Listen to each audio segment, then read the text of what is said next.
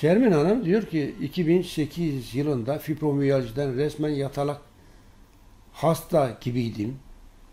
2008 Harpago seti ile 15 günde düzeldim. Oo maşallah maşallah. Harpago seti ile 15 günde düzelmiş. Daha ne işte? Harpago baba. Harpago babaların babası Harpago.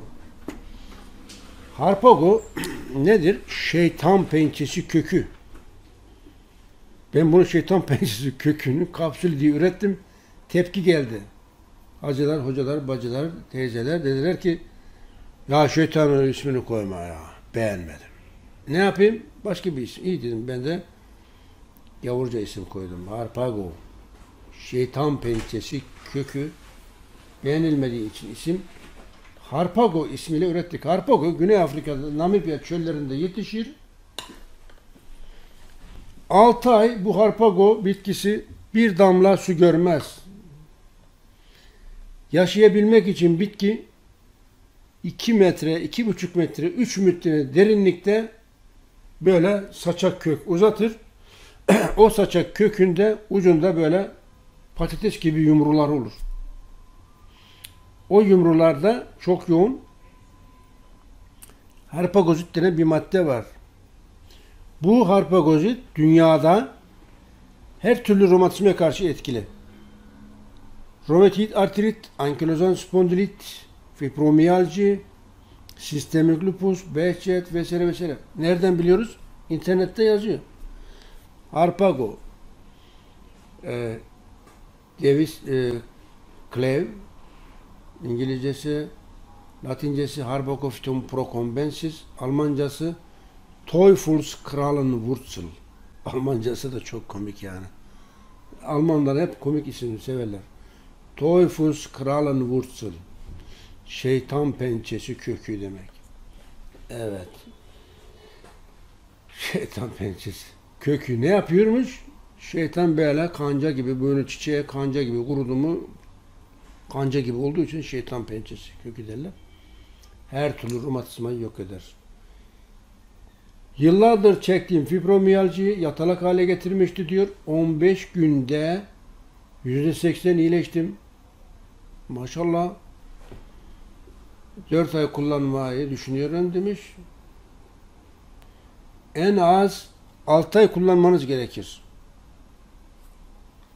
En az. Yani romatizma türlerinde 6 ay kullanmak gerekir. Aksi halde ileride üşütme, grip, nezle, faranjit, bronşit vesaire vesaire geçirdiniz. Tekrar romatizma nüksedebilir. Ben şimdi fibromiyalji ile uğraştım. 13 yaşında 26 yaşına kadar dedeler gibi belime böyle kuşak sarıyordum. Deneyler yapa yapa buluş yaptım. Kendimi tedavi ettim. Aa ben dedim artık romatizma yakalanmam. Ekim'in sonu Kasım gibiydi. Evvelki sene denize girdim. Kimse girmeye cesaret edemiyor. Girenler de iki dakika böyle giriyor çıkıyor donuyor. Vaa bağırarak çıkıyor. Dur ben de gireyim dedim. Girdim ama çıkmadım. Hoşuma gitti o buz gibi su. Hiç fark etmedim. İki saat kaldım. Neyse. Geldim eve. Bir şey fark etmedim. Aradan birkaç ay geçti. Ayak baş parmağımın eklemi şişti iltihaplandı. Kızardı böyle. Allah Allah romatoid artrite yakalanmışım. Haberim yok. Yeniden. Kaç yıl sonra?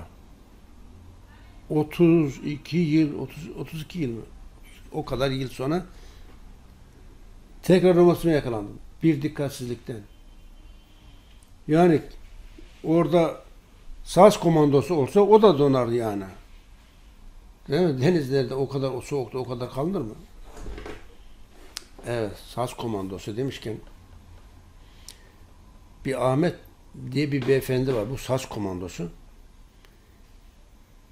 Adam benim gibi Kasım falan demiyor. Mart'ta, Şubat'ta, Ocak'ta denize giriyor. Girmiş. 30 metre derine dalmış. Orada balıklarla uğraşırken fazla kalmış. Ne uğraşıyorsun? İşini gör çık değil mi? Sevmiş ortamı. Biraz fazla kalmış. Tabii çıktıktan sonra üşütmüş, hastalanmış. Doktorlar deney, deney, deney, deney, deney. 6 ay kimyasal ilaç zehirlemişler adamcağız. Bir şey yapamayacağız demişler. Erken emeklilik eve göndermişler. Adam iş yeri açmış. Tamirhane tanesi var. Motosiklet tamir ediyor. Ama işe gidecek dermanı yok evde. Evden işe gidemiyor. Ev yakın böyle. işe gidemiyor. Öyle yatıyor evde. Öyle gibi yatıyor. Yiyemiyor, içemiyor. Bana getirdiler. iki amca oğul. Böyle kollarından adamı zor taşıyarak getirmişler. Adam karşıma oturdu ama düştü düşecek yanlarında adamları ikide bir tutuyorlar, düzeltiyorlar. Ne var? Böyle böyle. Ben iyileşebilir miyim dedi ya sesi çıkmıyor. Sorun değil. Ya nasıl sorun değil? Ben bu kadar hastanede kaldım işte şöyle oldu böyle. Sorun değil. İyi hadi bakalım. Kullandı, kullandı. Üç ay sonra bizim ürünleri iş başı yaptı. Çalışmaya başladı adam. Üç ayda işe başladı. Hayatı kayan kişi üç ayda tekrar çalışmaya başladı. Evet.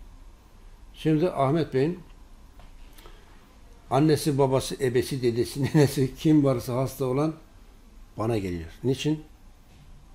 Vatandaş kendi yani hastaneden bir şey yapamayız diye eve gönderen, ölüme terk edilen vatandaşı iyileştirdik. Yani bu kadar da olsun değil mi?